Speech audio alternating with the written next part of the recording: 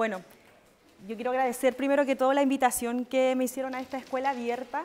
Eh, si bien las expositoras anteriores partieron diciendo, no, mi clase es demasiado fome porque no sé qué, creo que fue todo lo contrario, fue muy divertida.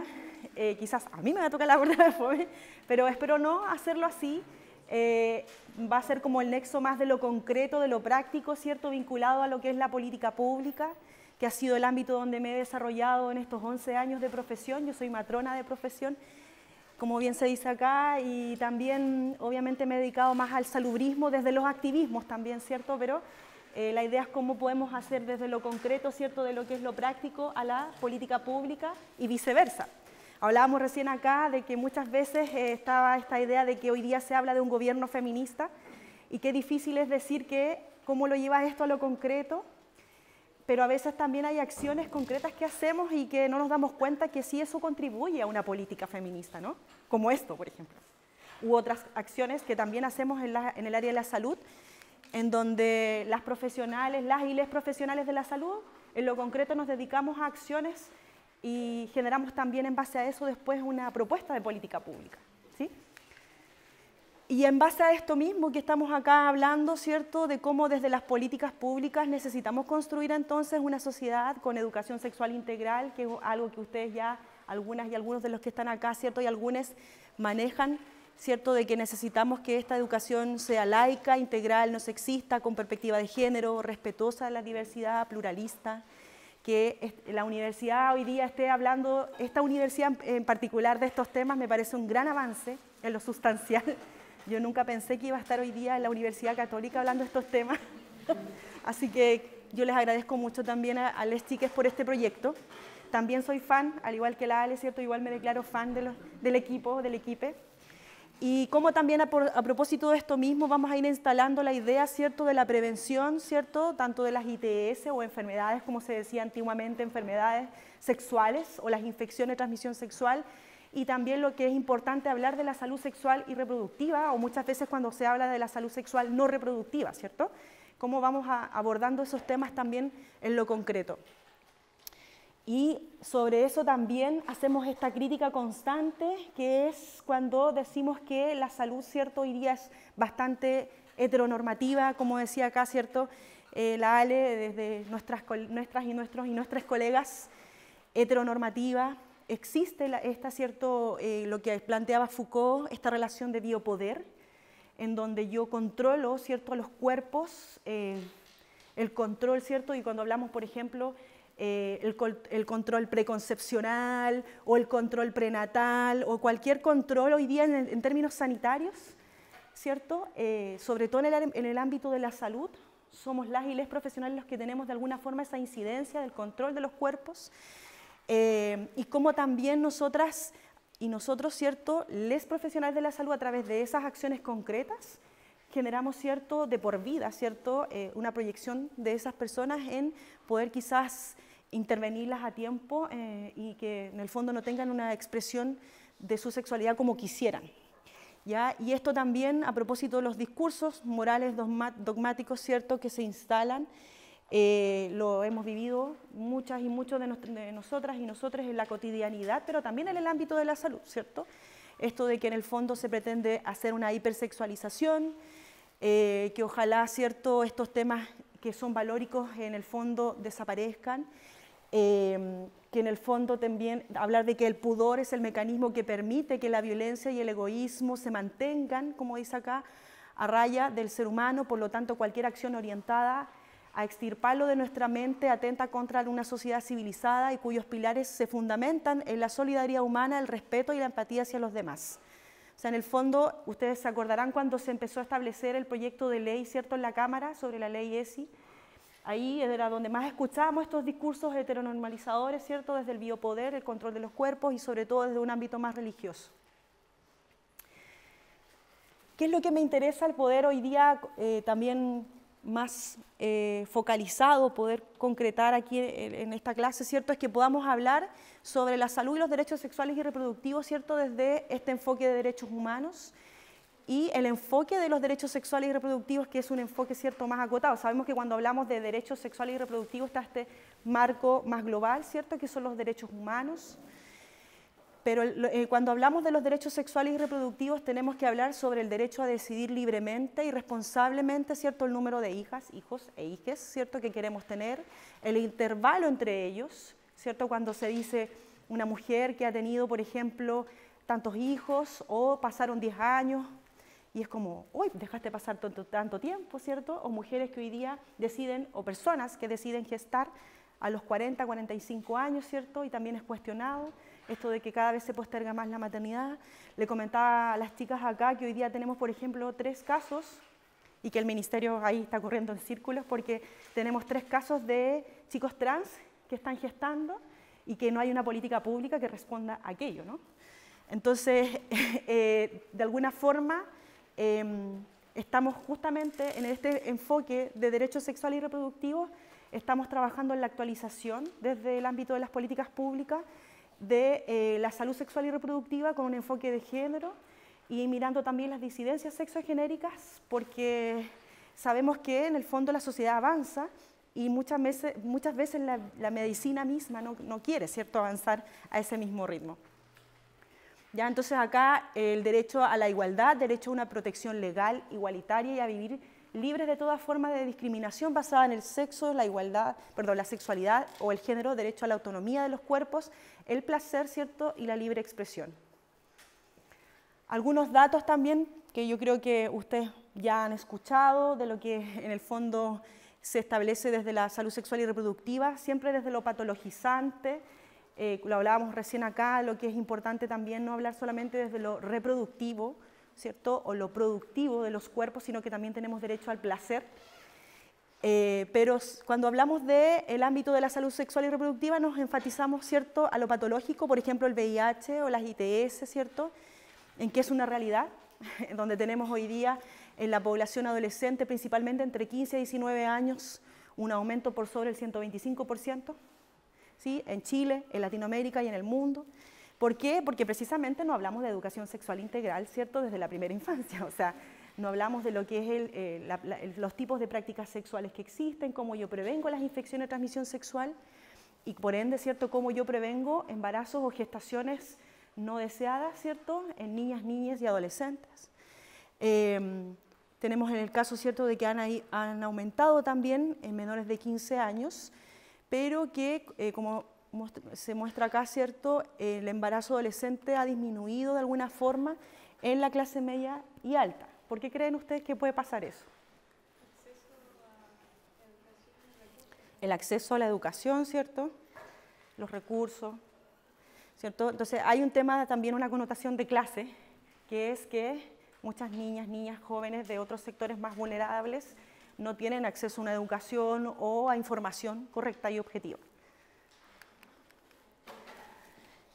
Y acá también, eh, un poco lo que decía Débora también, es que la insistencia en que la sexualidad debe estar confinada a la esfera privada, ¿cierto? Reduce la sexualidad a nuestras específicas prácticas sexuales individuales, impidiendo que concibamos, ¿cierto?, la sexualidad como siendo definida en el espacio social más amplio a través de categorías, fronteras sociales. Ese mito torna eh, ese mito torna imposible imaginar la sexualidad como algo que tiene que ver con la estética, los discursos, la política, el capital. O sea, cómo hablamos, cómo pensamos, ¿cierto?, que finalmente hablar de educación sexual o de sexualidad hoy día no tiene que estar ceñido solamente al ámbito privado o de responsabilidad de las familias, como muchas veces también desde los discursos conservadores se planteaba, sino que es un deber del Estado, ¿cierto? Y de la sociedad en su conjunto hacernos cargo de lo que es la educación sexual eh, desde la primera infancia. Entonces, en ese, en ese marco más paraguas, ¿cierto?, de lo que es eh, la educación sexual y la necesidad que tenemos de hablar de estos temas, no solamente desde lo, patologizante, sino que lo importante también que es hablar de los derechos, que los, les chiques me contaban que hasta ahora no había ninguna de los módulos eh, que hablara precisamente de los derechos sexuales y reproductivos, ¿cierto?, como también algo muy relevante en el ámbito de la salud sexual. Eh, creo que es muy importante hablar sobre la interrupción voluntaria del embarazo, ¿cierto? O el aborto, concretamente, porque recordarán que ese debate fue el que de alguna forma, ¿cierto?, abrió paso para hablar desde la autonomía de los cuerpos, el derecho a decidir, el derecho de decidir por mi propio cuerpo, ¿cierto? Si quiero tener actividad sexual y que, o si quiero reproducirme o no. Entonces, de alguna forma, esta ley nos vino a replantear lo importante que es, ¿cierto?, el romper con estos discursos conservadores. Y les quiero contar a propósito de esto, cómo ese debate abre, ¿cierto?, la necesidad de em, hablar de la historia de la salud reproductiva en los cuerpos de las mujeres, por ejemplo, en donde, ¿cierto?, el aborto terapéutico o el aborto legal entre los años 30 y los años 60 existía. Como bien se muestra aquí después en la línea, bueno, en los años, sabemos que la constitución del 80, ¿cierto?, en dictadura, se elimina el aborto, pero entre medio, en los años 60, ¿cierto?, se ingresa por primera vez en nuestro país la pastilla anticonceptiva. Antes de eso, el método anticonceptivo por excelencia era el dispositivo intrauterino o la T de cobre, ¿ya? en donde muchas mujeres o personas ¿cierto? con capacidad de gestar viajaban de los sectores rurales o de todos lados ¿cierto? para poder tener eh, su método de control, ¿cierto? de control de su cuerpo para, no tener, para eh, efectivamente no tener gestaciones eh, no deseadas. Em, y ahí empezó como la hormonización finalmente de los cuerpos, ¿cierto? Que era como la pastilla, la pastilla, la pastilla anticonceptiva, íbamos probando. Algunas mujeres tenían accidentes cerebrovasculares, a otras les hacía efectos secundarios, ¿cierto? Fue mejorando ahí eh, las, las anticonceptivas hasta hoy en día, el negocio también de los laboratorios y todo lo que sabemos que hay en torno a eso, ¿cierto? Con nuestros cuerpos. Luego, bueno, finalmente, como el aborto se prohibió en los años 80 en dictadura, sabemos que en el año 2010, gracias a los movimientos feministas, ¿cierto?, se incorpora la pastilla anticonceptiva de emergencia. Como la historia también se repite, en ese año 2010 eh, también fueron al Tribunal Constitucional, ¿cierto?, al TC, los sectores más conservadores, para que en el fondo esta ley no pasara pero también ahí hubo un trabajo eh, fortalecido con los movimientos no solamente chilenos, sino que de Latinoamérica, para que esto finalmente se aprobara en la Cámara, o sea, como eh, proyecto cierto desde el Ejecutivo y hoy día una política pública, en donde sabemos que también es un tema medio tabú, ¿no? Es como la pastilla del día después, cómo me la consigo, cómo la pido, es con receta, sin receta, se le niega muchas veces a las mujeres, se les cuestiona, ah, si tomó la pastilla del día después, quizás qué anduvo haciendo, ¿cierto? Entonces, como esos también, eh, esas discriminaciones ante la libertad del cuerpo también, hoy día a decidir cómo, cómo quiero prevenir una gestación no deseada. ¿Saben la pastilla anticonceptiva, eh, su efecto hasta cuántos días después la puedo ingerir? ¿Cinco? ¿Alguien más dice otro número? 72 horas, efectivamente. O sea, hasta tres días. Cinco ya no sirve. Entonces es importante saber esto. Si voy a tomar la pastilla el día después, tengo hasta tres días, ¿cierto? Eh, y lo que hace finalmente es el impedimento de que se junte, lo que hablamos delante, ¿cierto? Estos dos, estas gónadas, el ovocito con el espermio, ¿cierto? Y, y impide que se junten. No es abortiva, como decían los sectores más conservadores, que esta pastilla era abortiva. Y luego entonces avanzamos en el año 2017 a la ley que tenemos actualmente, también gracias a los movimientos que en ese momento impulsaron el derecho a la interrupción voluntaria bajo tres causales. ¿Qué es en lo concreto esta ley? No sé si la conocen todas, todos y todes. ¿Sí? ¿No? Que hoy día también desde las políticas públicas no ha habido mucha información, ¿cierto? Esta se, de alguna forma el reglamento tenía que implementarse en la administración anterior no hubo capacitación de profesionales de la salud. Atención primaria, no se habla del tema. ¿Qué es la ley IBE? Nivel secundario, hoy día los datos entregan que la tercera causal, que es la causal violación, con suerte, un bajo porcentaje de personas recurren a esa causal. ¿Ya? Hay baja capacitación de, profesionales de la salud, hay, eh, como sabrán, ¿cierto? Existen instituciones con conciencia, porque hoy día tenemos en Chile el único país que tiene instituciones con conciencia, como esta, ¿cierto? Porque fueron de las primeras, ¿verdad? Las primeras que se declararon como objetoras de conciencia institucional, ¿cierto? Eh, también está la Indisa, sí, la Indisa. Eh, y otras, cierto, personas, médicos, profesionales de la salud, que son objetores de conciencia y que imposibilitan el acceso. De hecho, el primer caso, se acordarán, fue el de una, adolescente, Belén, lo recuerdo muy bien porque yo vengo de la décima región de los lagos, uff, compleja, y allá en Chiloé se dio el caso de esta niña, ¿cierto? De una, niña de 12 años que fue violada y que tuvieron que trasladarla hasta Santiago para poder hacerle el aborto bajo las tres causales porque allá todos los médicos eran objetores de conciencia. En eh, Puerto Montt. Entonces aquí lo que se hizo fue cambiar en el código sanitario, que es como la Biblia de las y los profesionales de la salud, eh, se cambia, ¿cierto?, en el artículo 119, donde dice que la prohibición absoluta en materia legal y sanitaria se cambia por mediando la voluntad de la mujer se autoriza la interrupción de un embarazo por un médico cirujano. ¿Ya? Cuando se cambia su artículo 119. Las tres causales, ¿cierto? Riesgo de vida de la madre, riesgo de vida en viabilidad fetal y la tercera causal violación.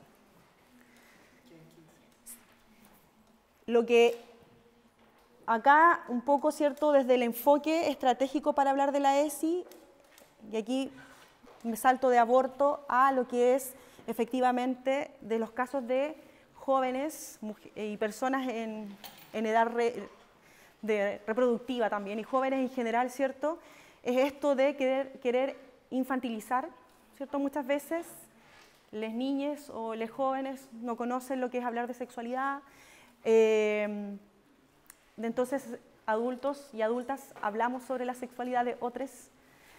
Eh, creo que eso es algo que ustedes también están muy bien trabajando acá, así que eso es lo que tenemos que hacer para derribar estos discursos más desde el adultocentrismo, que desde este enfoque estratégico, desde la ESI, no es solamente traspasar información, sino que como también nos hacemos cargo de manera interdisciplinaria, y qué bueno saber que acá hay de distintas áreas de eh, estudiantes de, no solamente de la salud, ¿cierto? Porque eso es lo que necesitamos para poder avanzar en una educación sexual integral y que además aborde no solamente lo biologicista de las relaciones humanas, sino que también cómo abordamos, por ejemplo, las emocionalidades, las afectividades, eh, el trato, que es algo que no solamente se aprende como desde el ámbito de la biología o de, la sexualidad. Entonces, en lo concreto de las prácticas sexuales, podemos decir que estas son diversas, desde una mirada sexogenérica, en donde hablamos ¿cierto? de la gestión del placer, desde, las determinantes interseccionales, como se hablaba acá, ¿cierto? No es lo mismo gestionar el placer para una mujer heterosis que gestionar el placer para otras personas, desde las disidencias sexogenéricas, ¿cierto? Que le causa placer no solamente lo coital o lo penetrativo, ¿cierto? Sexo vaginal, sexo anal o sexo oral, sino que hay otras formas también de disfrutar eh, y tener placer. Em, y que esto también, desde la estructura del modelo, se nos ha enseñado muchas veces, como bien se mencionaba, alguien lo dijo delante, ¿cierto? Que el cuerpo solamente está para la explotación, ¿cierto? Que es como el trabajo, el trabajo, eh, cómo yo produzco con la economía, cómo yo, estar todo el día trabajando o estar todo el día estudiando, lo disocio de ser un cuerpo que, tiene derecho a desarrollarse de manera integral y que también tiene derecho al placer. Eso no está hoy día en las políticas públicas.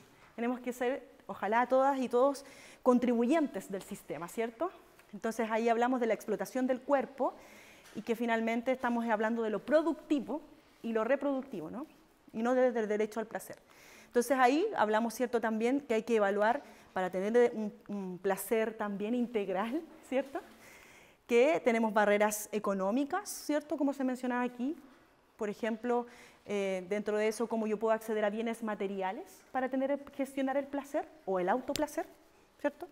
Tengo barreras económicas, una persona que a lo mejor no tiene acceso a ciertos eh, insumos o espacios de hacinamiento, por ejemplo, ¿cierto? En, las viviendas. Eh, las situaciones de poder también que se dan cuando yo quiero tener relaciones sexuales placenteras, ¿cierto? Lo vemos mucho, sobre todo en los espacios laborales a veces, que se dan estas relaciones de poder, eh, sexualmente hablando, ¿no?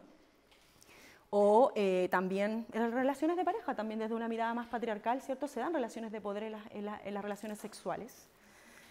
Em, entornos excluyentes, por ejemplo, hablamos de la situación de personas con eh, discapacidad, ¿cierto? Mirando también cómo la sexualidad eh, hoy día también puede tener em, barreras desde lo físico, ¿no? Y pueblos originarios, personas migrantes. O sea, nadie habla de la sexualidad, por ejemplo, eh, de los pueblos originarios. Existe ahí una cultura, yo no sé si los pueblos originarios hoy día están planteando desde las diversidades sexogenéricas con mucha fuerza también una educación sexual integral, por ejemplo. Sería interesante saberlo. Em, y obviamente lo que es dentro de las prácticas sexuales, de la diversidad que existe también de las prácticas, es importante hablar del autocuidado de los cuerpos, ¿cierto? De manera integral, como también nosotras accedemos, por ejemplo, eh, no solamente a, es el cuidado de los cuerpos en las relaciones sexoafectivas, sino que como también accedemos a ciertos diagnósticos en salud, cómo utilizamos ¿cierto? las herramientas que nos entrega el Estado. Entonces, por eso hablo ¿cierto? de lo importante que el Estado también se haga parte de esto, de que gestione el derecho al placer y el autocuidado de los cuerpos y el cuidado de los cuerpos. ¿cierto? No solamente hablar de las relaciones o de las prácticas sexuales eh, basado, ¿cierto?, como les comentaba, en esto de las relaciones corporales, sexualmente hablando, sino que también desde la emocionalidad, desde la autonomía, de la afectividad.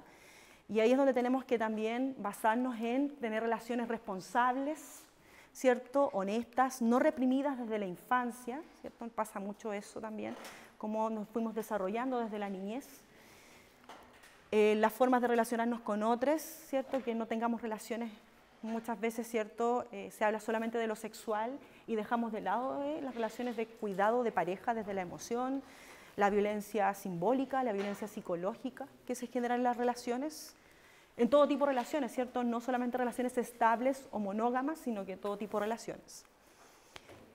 respetar la autonomía de las personas en ese sentido y las decisiones de su cuerpo y obviamente en base a esto también la educación sexual nos ayuda ¿cierto? a prevenir los abusos eh, y las violencias sexuales sin consentimiento. Em, sabemos que obviamente un niño o niña, cuando se habla desde el adultocentrismo que los niños o niñas no deberían tener educación sexual, claramente si tuvieran, eh, identificar, pudiera identificar desde la niñez lo que es una expresión de cariño honesta, versus lo que es una expresión de abuso o eh, delito sexual, sería muy diferente, ¿cierto? ¿Tú querías decir algo?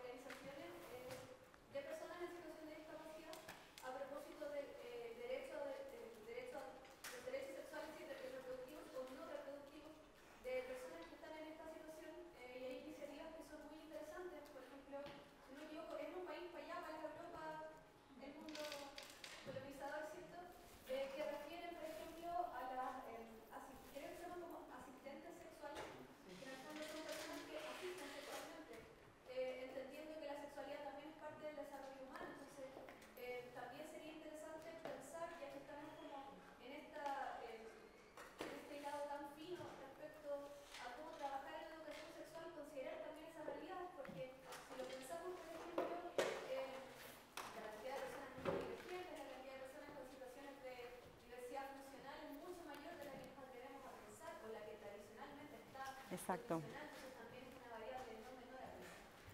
Sí, muchas gracias, sí. De acuerdo. Eh, no sé si vieron el programa de la escuela, pero la clase 7 ah. es solo sobre sexualidad y discapacidad. Eh, y vamos a tener un invitado. Se, se va a tocar la temática y se va a tocar muy bien. sí. Eh, esa clase la estoy gestionando yo, así que va a quedar en el comentario. No veo a la chica que pero. Buenísimo.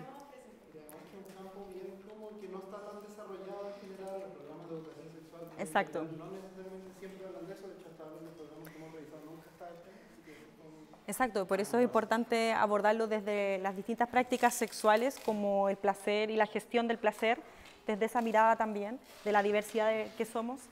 Eh, sí, hay, un curso muy bonito también que lo da eh, Senadis, como el Servicio Nacional de Discapacidad, con la Escuela de Salud Pública de la Chile, que hace ahí como ahí el trabajo desde las personas en su ámbito de desarrollo sexual, sexualidades. Pero yo solamente lo quise desde una pixelada, como hablar, por eso es desde las políticas de salud sexual y reproductiva, que son muy amplias, muy diversas. Podríamos estar todo el día hablando de esto, pero yo como que traté de sintetizar lo que más pude, como un popurrí de todo. Pero la idea es que les quede ahí, como bien lo comentaban acá, rebotando para que después lo aborden con más profundidad. Eh, yo aquí no sé si se va a poder como mostrar el material que sí. Quería mostrarles como a propósito de esto de las prácticas sexuales, como también en lo concreto, eh, existe material que ustedes pueden buscar, como de, chuta, ¿cómo yo puedo abordar estos temas? A mí me interesaba mucho, que fue un poco lo que me pidieron las chicas también, cómo yo puedo acceder a este material, más allá de leer ciertos libros que podemos sugerirles, lo importante también es cómo yo puedo acceder al material que se entrega en la práctica, en lo concreto por los ministerios, en este caso el Ministerio de Salud, o el gran referente que está haciendo actualmente Argentina, ¿cierto? Como máximo en todo. Entonces, hay mucho material ahí desde el Ministerio de Salud, que existe una Dirección Nacional de Salud Sexual y Reproductiva dentro del Ministerio. No. Y también material que hemos trabajado con otras universidades, con eh, instancias internacionales.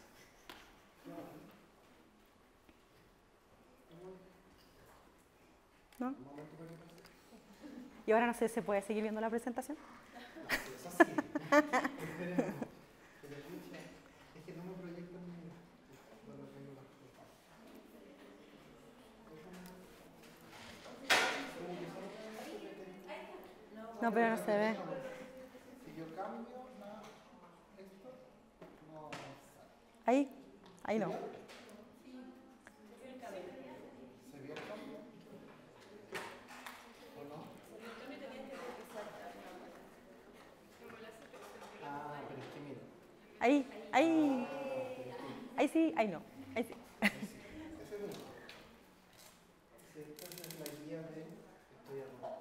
Ahí tienes que sacar, cerrar esto, ¿no dice cerrar ahí? No, bueno, no sé.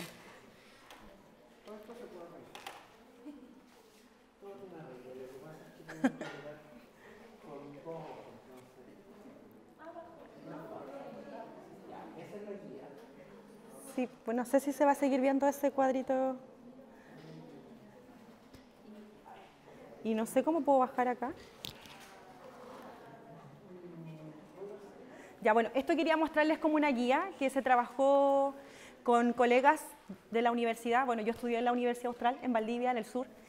Eh, y es material que en el fondo es un proyecto que se hizo eh, para poder eh, explicar sobre las prácticas sexuales y el cuidado desde las diversidades, tanto para organizaciones sociales, ¿cierto? para la ciudadanía, pero también material educativo para ocupar en estudiantes de la salud como, o en estudiantes en general. Eh, yo esto, este material lo voy a poner a disposición para que ustedes lo puedan tener, porque les sirve en el fondo para poder abordar la temática de manera práctica. ¿sí? Sí.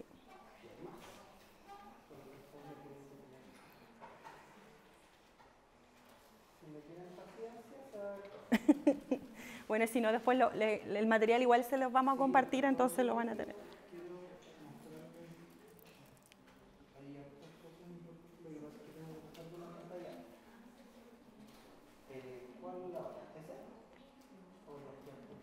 No, el abajo, mira, donde dice género. No, el de abajo. Ese. Sí, pero no, no, era el otro, era el anterior.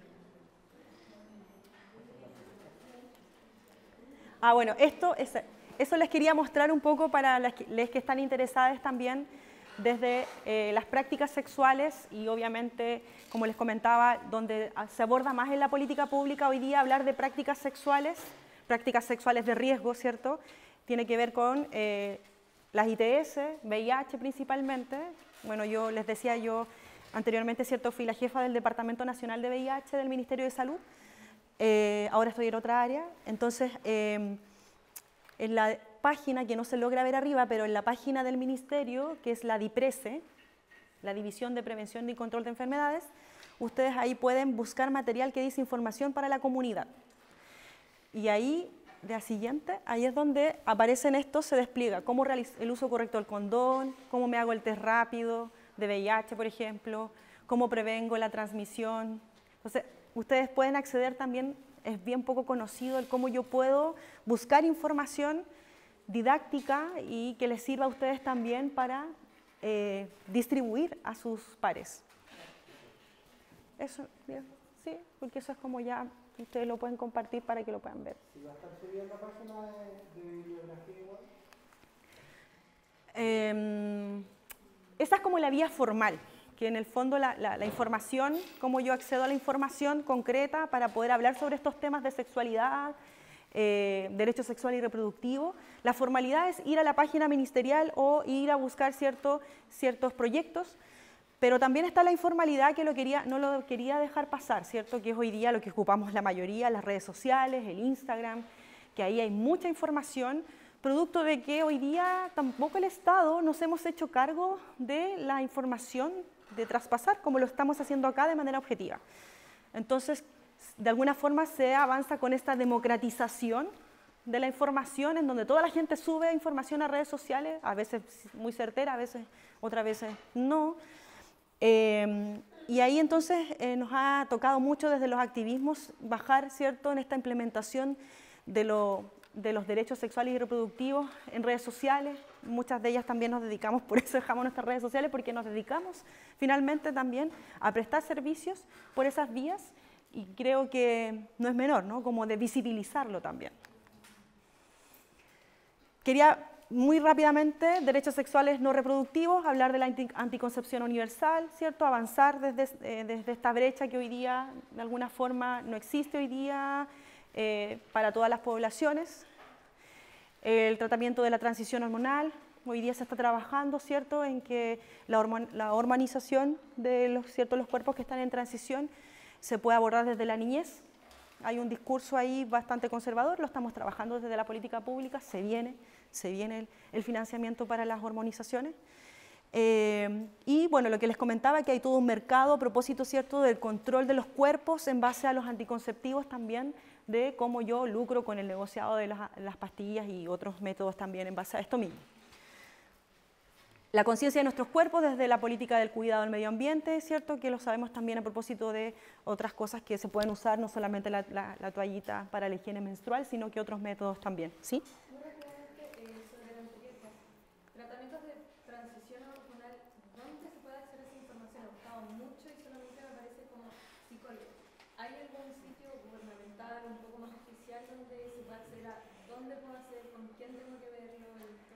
Sí, bueno, en el departamento donde trabajo yo, sí, pero también tenemos una mesa de salud trans que tiene el Ministerio de Salud.